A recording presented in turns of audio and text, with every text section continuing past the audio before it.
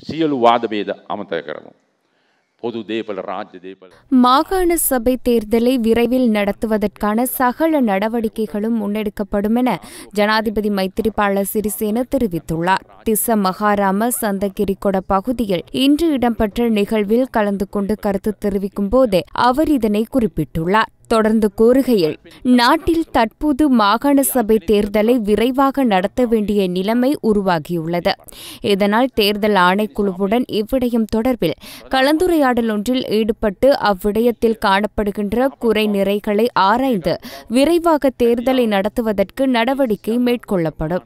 இதேவேளை வடக்கு மக்களுக்கு வேண்டிய வீடமைப்பு திட்டங்களை மேற்கொள்வதற்கு வேண்டிய நிதி போதிய அளவு கிடைக்கப்பட்டுள்ள போதிலும் அவ்விடயம் தொடர்பில் அமைச்சரவை அமைச்சரவையில் இதுவரை காலமும் பேச்சுவார்த்தை மாத்திரமே இடம்பெற்றுள்ளது எனவும் ஜனாதிபதி சுட்டிக்காட்டியுள்ளார் අපේ වගකීම් සහයුතුකම් අපි ඉටු කරමු කියලා. අපේ රටේ අනාගතය දෙමව්පියනි දරු.